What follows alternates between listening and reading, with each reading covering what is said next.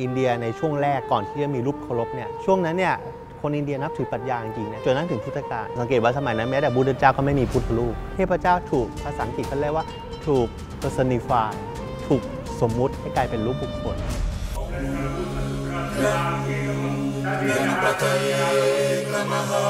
ในประเทศไทยเนี่ยเรานับถือพระคเนศมาตั้งแต่สมัยทวารวดี นับถือตามอินเดียจนกระทั่งถึงรัชกาลที่ 6 ท่านก็ยกย่องพระคเนศในฐานะของเทพเจ้าแห่งศิลปวิทยา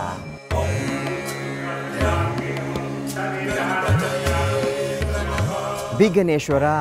พิคเนศวนคำคำนี้มีความหมายว่าขจัดซึ่งอุปสรรค พระคเนศก็คือความไม่มีอุปสรรค เพราะฉะนั้นเนี่ยถ้าเรา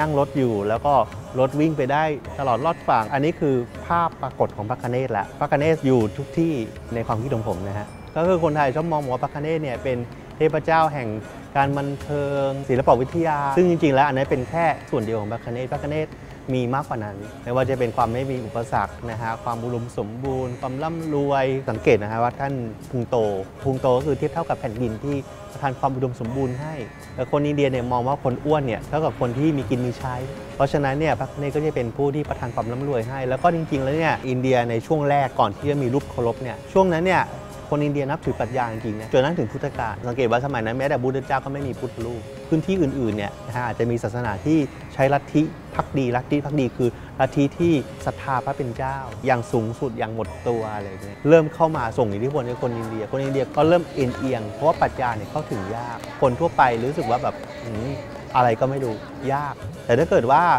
สมมุติขึ้นมาเป็นรูปคน นะสมมติขึ้นมาเป็นรูปสิ่งที่เขาคอนเน็กได้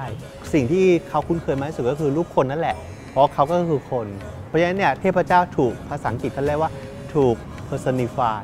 ถูกสมมุติให้กลายเป็นรูปบุคคล มีพระเศียรมีแขน มีขา แล้วก็ที่สำคัญก็คือมีตา มีตาก็คือสามารถที่จะตามมองตา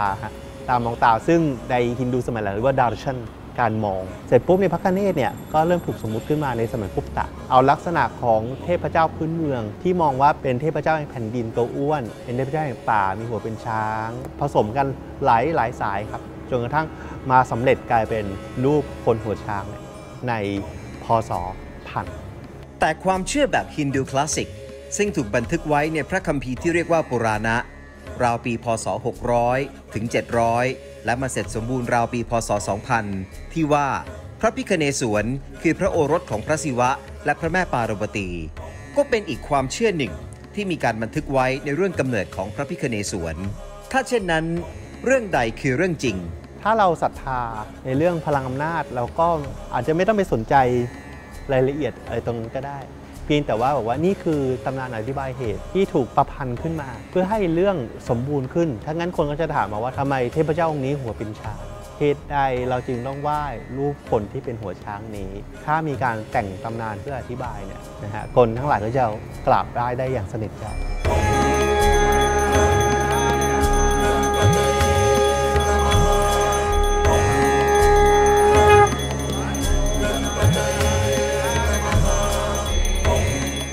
สุดท้ายแล้วเทวรูปก็คือจินตนาการ ซึ่งเป็นตัวแทนของพลังจักรวาลที่มีอำนาจเหนือมนุษย์ วิทยาศาสตร์ หรือศาสนาหรือศรัทธา ถ้าเรามองบอกว่ามีสิ่งอะไรบ้างที่เราคุมไม่ได้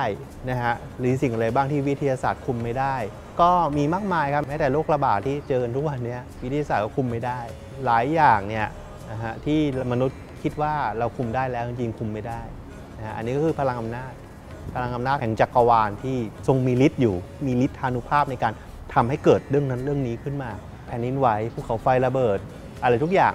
นะในโลกเนี่ยเราคุมไม่ได้หมดนะครับ แม้แต่ชีวิตเราเราก็คุมไม่ได้ว่าเราต้องแก่ลงเราต้องตายเราต้องอะไรตายตอนไหนก็ไม่รู้ เราไม่ได้บอกว่าให้งมงาย แต่ว่าให้เข้าใจพระคเนศก็เป็นส่วนหนึ่งของพลังอำนาจนั้น Ganapataye Namaha